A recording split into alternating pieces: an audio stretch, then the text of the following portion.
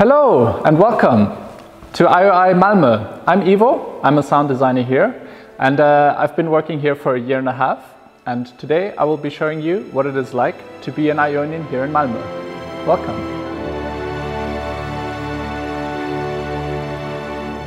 So basically coming to Malmö was like an easy choice because in Europe it's like one of the central hubs that is like growing when it comes to game developers, right? You have a lot of talented studios that are uh, being established here since the last five to 10 years. And it's like you come to a place where you actually find people that have a common desire and uh, just make fun games. Uh, I'm Joshua Smith. I'm the lead sound designer on a new unannounced project at IOI. Um, I've been working in games for 13 years.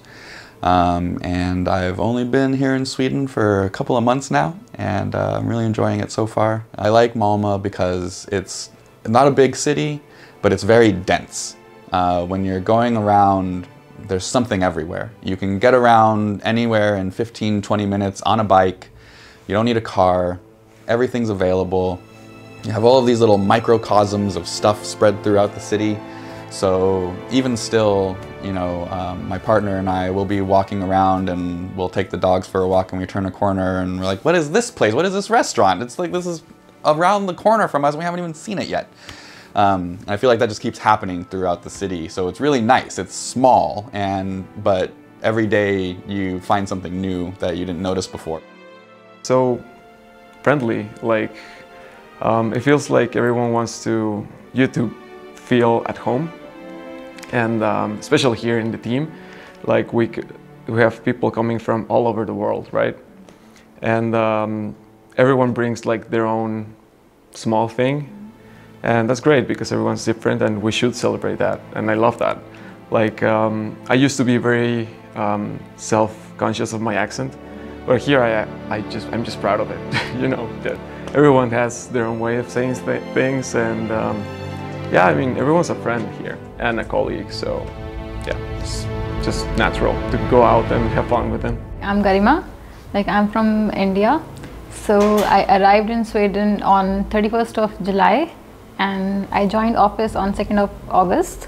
So uh, basically uh, I'm from like uh, Lakshya Digital, it's a keyword studio, like it's an outsourcing studio.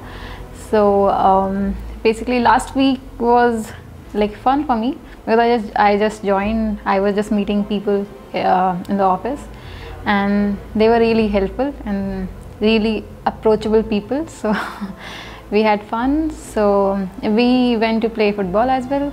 Yeah. A lot of people always ask me, why did you go from being an artist to being a producer?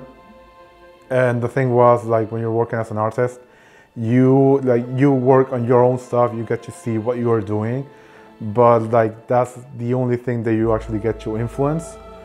So moving over to a production role, I was able to oversee the whole project, see the whole thing, how everything is being developed. So that was like a big thing for me. And then like uh, coming over here to Malmö was, uh, I mean, so far it's been a great experience. Uh, the reason I decided to come back to Sweden was uh, since I used to live here before, I just fell in love with the Scandinavian culture the whole work-life balance. I always really appreciate it over here.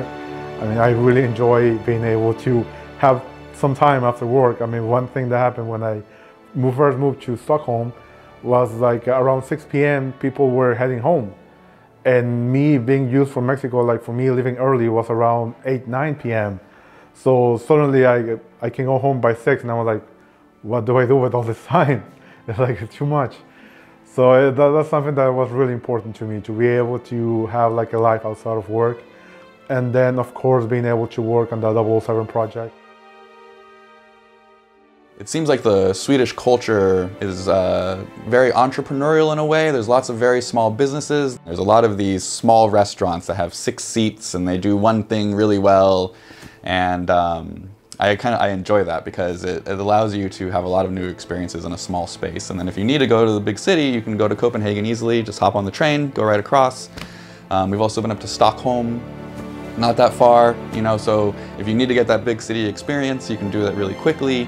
And then also just where you're at in Europe, it's very easy to get to lots of places.